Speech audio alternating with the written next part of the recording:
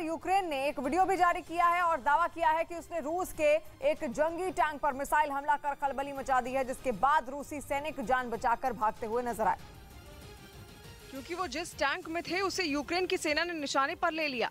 इसके बाद जैसे ही लॉन्चर से मिसाइल छूटी, वो हवा की रफ्तार से जाकर सीधे टारगेट पर लगी, जिससे वहाँ जोरदार धमाका हुआ।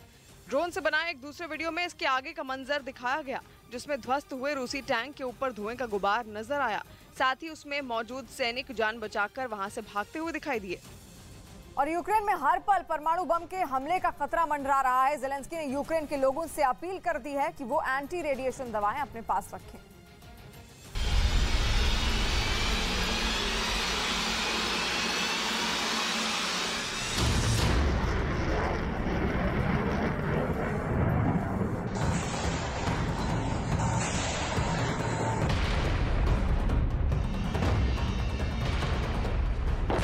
जलता क्यों अभी और दहकेगा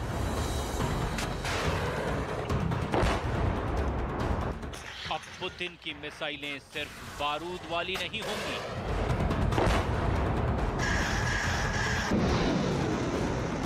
अब पुतिन जेलेंस्की को परमाणु बम से जलाएँगे।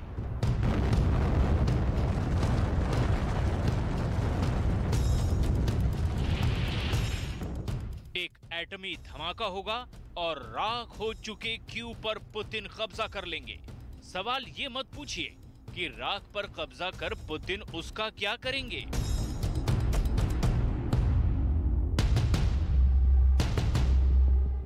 यूक्रेन की जनता की जान बचाने की, जेलेंस्की की चिंता किसी काम नहीं आ रही। पूरी दुनिया के शांति दूतों के तोते उड़ गए हैं। पुतिन इनकी एक नहीं सुन रहे। और हर भागते घंटे के बाद ये तस्वीर और साफ़ होती जा रही है कि पुतिन यूक्रेन पर परमाणु बम गिराएँगे।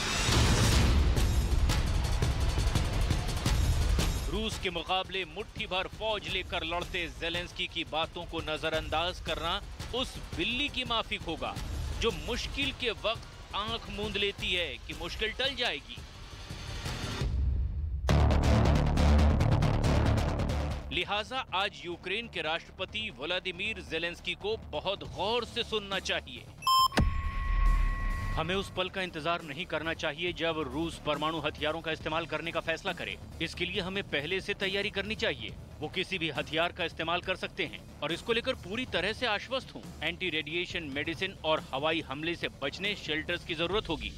जेलेंस्की, ब्रिटेन और अमेरिका दोनों को बार बार ये बताते रहे हैं कि पुतिन किस हद तक जा सकते हैं। बावजूद इसके, ब्रिटेन, अमेरिका या यूरोपीय देश उनके साथ खुलकर खड़े नहीं हो रहे हैं। ऐसे में पुतिन की एटम बम चलाने की इच्छा और प्रबल होती जा रही है। हम आपको बताते हैं कि वो कौन सी बातें हैं, वो कौन से कदम हैं, जिसकी वजह से ऐसा लगता है कि पुतिन यूक्रेन पर परमाणु बम का हमला कर सकते हैं। भले ही ये हमले छोटे परमाणु हथियारों से हों, लेकिन इससे निकली तबाही यूक्रेन को और ज़्यादा बर्बाद कर देगी। मादरे वतन को महफूज रखने की ये चिंता उस जेलेंस्की की है, जिसकी अपील को दुनिया ने अब तक ठुकराया ही है।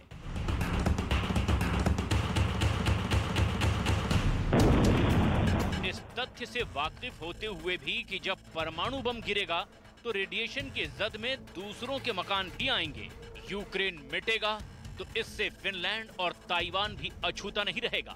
जेलेंस्की इसके पहले भी चेता चुके हैं। और दो दिन पहले एटम अटैक की यही चिंता अमेरिका को भी सता रही थी तो क्या अब पुतिन ने परमाणु अटैक का काउंटडाउन शुरू कर दिया है? यूक्रेन के आठ शहर इस वक्त रूसी सेना के गोलों से दहल रहे हैं।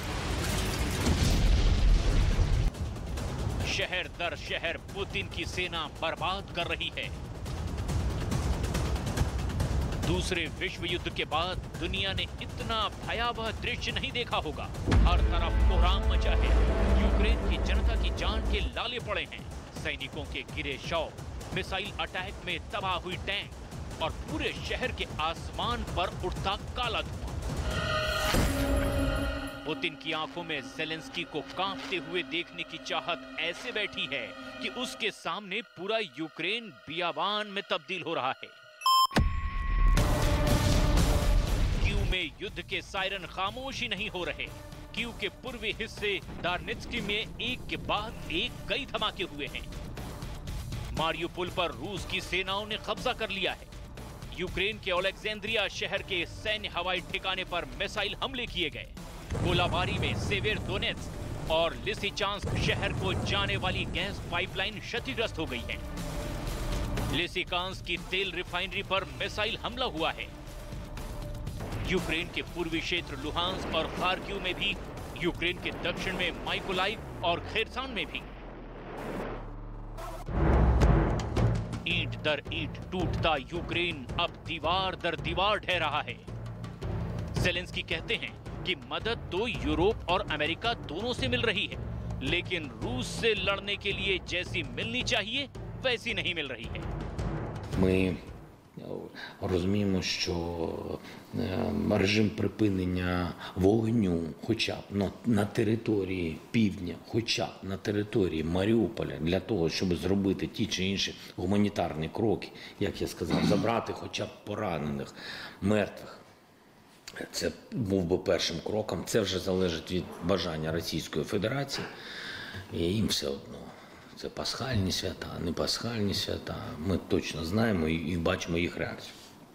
Я знаю, що вони пропонували нашим людям здатися, здаватися, йти в полон. ब्रिटेन अमेरिका और यूरोपीय देश यूक्रेन की मदद तो कर रहे हैं लेकिन एक हद तक एक दायरे में क्योंकि खुलकर खड़ा होने में यह खतरा है कि विश्व युद्ध छिड़ सकता है और ये अमेरिका नहीं चाहता, ब्रिटेन नहीं चाहता।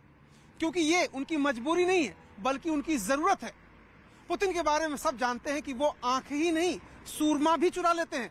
तो क्या जेलेंस्की की इस बात पर अब यकीन करना ही होगा कि पुतिन परमाणु बम से हमला कर सकते हैं? परमाणु बम वाली ताकत के प्रदर्शन के पीछे एक नहीं, कई फैक्टर्स एक साथ काम करते हैं। पुतिन जैसे लीडर ही इस तरह के फैसले भी करते हैं, क्योंकि ना तो युद्ध हर दिन लड़ा जाता है, ना आखिरी वक्त तक युद्ध भूमि में इंतज़ार किया जाता है। ये बिल्कुल वॉर टैक्टिस है कि हर मोर्चे पर विरोधी को मात दी जाए। पुतिन की फिलॉसफी रही है कि पहले लात, फिर बात, और फिर मुलाकात। लेकिन ये उल्टा कानून है और इसे दुनिया सीधे तौर पर कभी नहीं मानेगी। शायद यही वजह है कि यूक्रेन के हथियार भले ही रूसी सेना के सामने नाकाम हो रहे हों, लेकिन यूक्रेन की सेना का जज्बा और हौसला अब भी बाकी है और इसे तोड़ने के लिए पुतिन एटम बम का इस्तेमाल करने से भी गुरेज नहीं करेंगे। वही दिल्ली हिंसा की आग की आँच अब तक महसूस की जा रही है। फ़िलहाल तो हालात काबू में हैं, लेकिन सवाल की लंबी फहरिस्त है। हिंसा मामले में अब तक 21 लोगों की गिरफ्तारी हो चुकी है, जबकि दो नाबालिगों को